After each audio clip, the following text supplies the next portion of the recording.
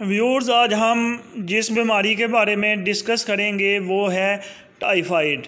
तो अभी हम देखेंगे कि टाइफाइड का डाइट प्लान क्या है कि अगर किसी को टाइफाइड हो जाता है, मियादी बहार हो जाता है तो किस तरह की गज़ा का इस्तेमाल करना चाहिए? क्योंकि टाइफाइड फ़ीवर में दुआ से ज़्यादा जो है, वो गज़ा ज़रूरी होती है। अगर आप अच्छी गज़ा इस्तेमाल नहीं करेंगे तो मेडिसन का असर भी नहीं होगा। मैदी बहार में दुआ से ज़्यादा गज़ा पर ध्यान देने की ज़रूरत होती है।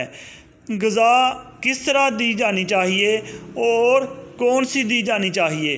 इसका इहसार मरीज़ की जस्मानी हालत और मर्ज़ की शिद्दत पर मुनसर होता है। बुहार में चूँकि आंतें कमज़ोर होती हैं, इसलिए मुनासब यही होता है कि साहत और शकील गज़ाओं से परहेज़ किया जाए। लतीफ़ और आसानी से हज़म होने वाली गज़ाएँ बेहतर रहती हैं। दूध ऐसी हालत में बेहतरीन गज़ा साबित होता है, लेकिन कभी कभी मरीज़ को दूध भी रास नहीं आता है। ऐसी सूरत में दूध को फाड़ कर देना मुनासब होता है। दूध के मतवातर पीने से अक्सर मरीज़ बेजार हो जाते हैं और इसलिए तब्दीली गज़ा के लिए कस्टर्ड और आशी जो देना चाहिए।